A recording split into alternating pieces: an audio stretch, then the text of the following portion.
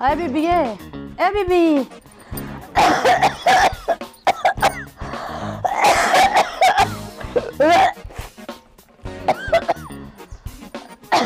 ਨੀ ਬੀਬੀ।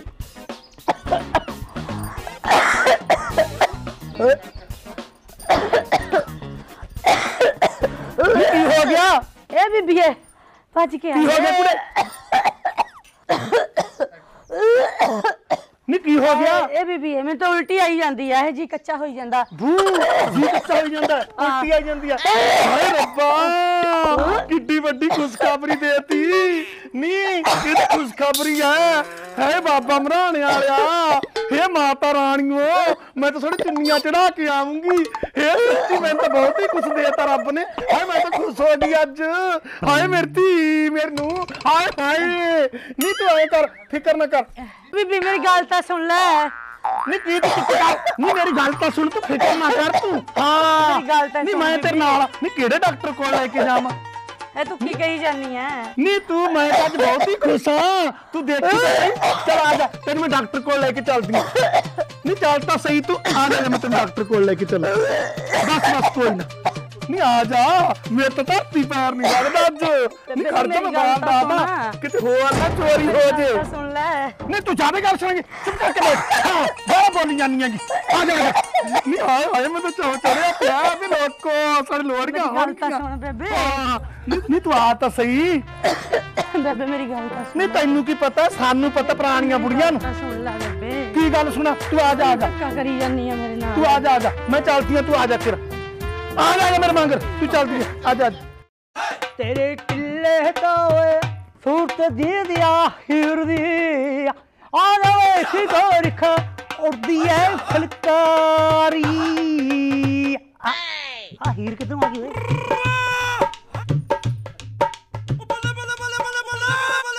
ਆ ਹੀਰੇ, ਕਿਵੇਂ ਆਈ?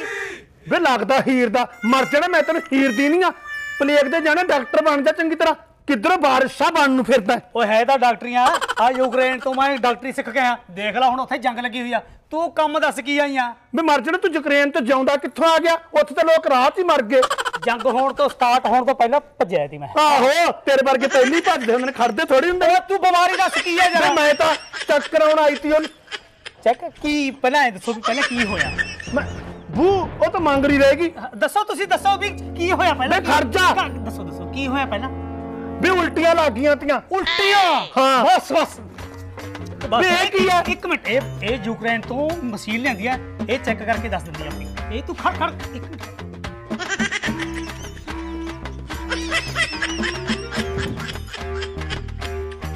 ਛੇ ਮਹੀਨੇ ਦਾ ਬੱਚਾ ਪੇਟ ਫਿੱਟੇ ਨੂੰ ਤੇਰਾ ਮਰ ਜਾਣਾ ਮੇਰੇ ਨਹੀਂ ਮੇਰੇ ਨੂੰਹ ਦੇ ਪਾਉਣ ਵਾਲਾ ਬੱਚਾ।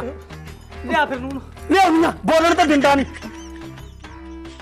ਨਹੀਂ ਤੂੰ ਇੱਥੇ ਹੀ ਬਹਿ ਗਈ ਚਲ ਆ ਅੰਦਰ। ਕਿੱਥੇ ਨੇ ਪੁੱਤੀਆਂ ਨੇ ਕਪਾਈਆਂ ਮੈਂ? ਹਾਂ ਭੋਰਾ ਅਕਲ ਨਹੀਂ ਹੈਗੀ ਡੰਗਰ ਜੀ ਨੂੰ। ਆ ਜਾ। ਆ ਮੇਰੇ ਨੂੰ ਇਹਨਾਂ ਨੂੰ ਚੈੱਕ ਕਰੋ। ਠੀਕ ਠੀਕ। ਹਾਂ। ਮੇਰੀ ਗੱਲ ਤਾਂ ਸੁਣ ਲੈ। ਚੁੱਪ ਕਰ। ਡਾਕਟਰ ਮਾਇਆ ਬੇਬੇ ਕਹੇ ਆ? ਇਹੀ ਤੈਨੂੰ ਮੈਂ ਦੱਸ ਆਉਣੀ ਆ। ਬੇਬੇ ਮੇਰੀ ਗੱਲ ਆ ਤੂੰ ਚੁੱਪ ਮਹਾ।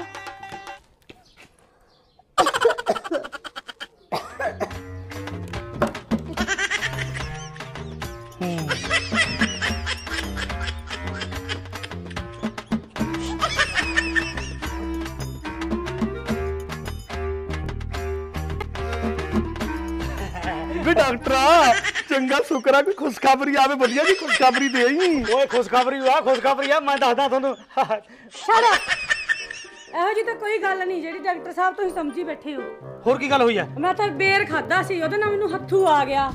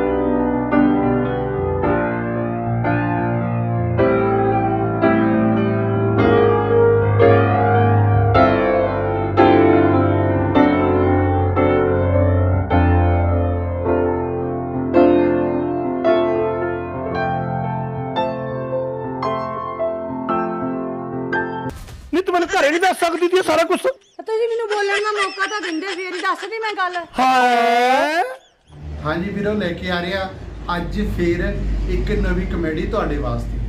ਵੀਰੋ ਸਾਡੀਆਂ ਪੁਰਾਣੀਆਂ ਫਿਲਮਾਂ ਨੂੰ ਤੁਸੀਂ ਬਹੁਤ ਪਿਆਰ ਦਿੱਤਾ ਹੈ। ਅਸੀਂ ਆਸ ਕਰਦੇ ਹਾਂ ਵੀ ਤੁਸੀਂ ਸਾਡੀਆਂ ਆਉਣ ਵਾਲੀਆਂ ਫਿਲਮਾਂ ਵੀ ਬਹੁਤ ਪਿਆਰ ਦਿੰਦੇ ਵੀਰੋ ਅਸੀਂ ਹਰੇਕ ਹਫ਼ਤੇ ਤੁਹਾਨੂੰ ਪਤਾ ਹੈ ਵੀ ਦੁਪਹਿਰ 3 ਵਜੇ ਸਾਡੀ ਫਿਲਮ ਪਾਉਣ ਦੀ ਪਾਉਂਦੇ ਆ ਸੋ ਵੀਰੋ, ਸਾਡੀ ਫਿਲਮ ਨੂੰ ਦੇਖਿਆ ਕਰੋ ਅਤੇ ਨਾਲ ਹੀ ਸਾਡੀ ਫਿਲਮ ਨੂੰ ਸ਼ੇਅਰ ਕਰਦਿਆ ਕਰੋ। WhatsApp ਗਰੁੱਪਾਂ ਤੇ ਫੇਸ ਗਰੁੱਪਾਂ ਦੇ ਸਾਰੇ ਗਰੁੱਪਾਂ 'ਚ ਸ਼ੇਅਰ ਕਰਦਿਆ ਕਰਦੇ। ਸਾਡੀ ਫਿਲਮ ਨੂੰ ਜੇ ਤੁਸੀਂ ਵੱਧ ਤੋਂ ਵੱਧ ਪ੍ਰਮੋਟ ਕਰੋਗੇ, ਤਾਂ ਅਸੀਂ ਵੱਧ ਤੋਂ ਵੱਧ ਤੁਹਾਡੇ ਵਾਸਤੇ ਨਵੀਆਂ ਫਿਲਮਾਂ ਲੈ ਕੇ ਆਵਾਂਗੇ। ਕਿਉਂਕਿ ਜੇ ਤੁਸੀਂ ਪ੍ਰਮੋਟ ਕਰੋਗੇ ਸਾਡੀ ਫਿਲਮ ਨੂੰ, ਤਾਂ ਹੀ ਅਸੀਂ ਵਧੀਆ ਆਈਡੀਆ ਲਾਵਾਂਗੇ, ਤਾਂ ਹੀ ਅਸੀਂ ਵਧੀਆ ਐਕਟਰ ਲੈ ਸਕਦੇ ਹਾਂ। ਕਿਉਂਕਿ ਅੱਜ ਕੱਲ ਦੇ ਜ਼ਮਾਨੇ 'ਚ ਹਰੇਕ ਪੇਡ ਹੈ। ਸੋ ਪਲੀਜ਼ ਵੀਰੋ ਤੁਸੀਂ ਕੋਸ਼ਿਸ਼ ਕਰੋ ਸਾਡੀ ਫਿਲਮ ਨੂੰ ਵੱਧ ਤੋਂ ਵੱਧ ਸ਼ੇਅਰ ਕਰੋ ਅਤੇ ਸਾਡੇ ਚੈਨਲ ਨੂੰ ਵੱਧ ਤੋਂ ਵੱਧ ਸਬਸਕ੍ਰਾਈਬ ਕਰੋ। ਆਹ ਫਿਲਮ ਤੁਹਾਨੂੰ ਕਹੀ ਜਿਹੀ ਲੱਗੀ? ਪਲੀਜ਼ ਆਹ ਨੀਚੇ ਕਮੈਂਟਾਂ ਦੇ ਵਿੱਚ ਸਾਨੂੰ ਜ਼ਰੂਰ ਲਿਖਿਓ। ਕਿਉਂਕਿ ਜੇ ਤੁਸੀਂ ਕਮੈਂਟ ਕਰੋਗੇ, ਤਾਂ ਹੀ ਸਾਨੂੰ ਪਤਾ ਲੱਗੇਗਾ ਵੀ ਤੁਸੀਂ, ਤੁਹਾਡਾ ਟੇਸਟ ਕੀ ਹੈ, ਤੁਸੀਂ ਚਾਹੁੰਦੇ ਕੀ ਹੋ। ਅਸੀਂ ਫਿਰ ਸਾਡੀਆਂ ਫਿਲਮਾਂ ਨੂੰ ਉਸੇ ਰੂਪ ਦੇ ਵਿੱਚ ਢਾਲਾਂਗੇ। ਉਦਾਂ ਦੀ ਫਿਲਮਾਂ ਜਿਸ ਜਿਸ ਤਰ੍ਹਾਂ ਤੁਸੀਂ ਚਾਹੁੰਦੇ ਹੋ, ਅਸੀਂ ਉਦਾਂ ਦੀਆਂ ਫਿਲਮਾਂ ਬਣਾਵਾਂਗੇ। ਸੋ ਪਲੀਜ਼ ਵੀਰੋ, ਸਾਡੇ ਚੈਨਲ ਨੂੰ ਸਬਸਕ੍ਰਾਈਬ ਕਰੋ ਅਤੇ ਨਾਲ ਹੀ ਸਾਡੇ ਚੈਨਲ ਨੂੰ ਸ਼ੇਅਰ ਕਰ ਦਿਆ ਕਰੋ। ਠੀਕ ਹੈ ਜੀ? ਧੰਨਵਾਦ।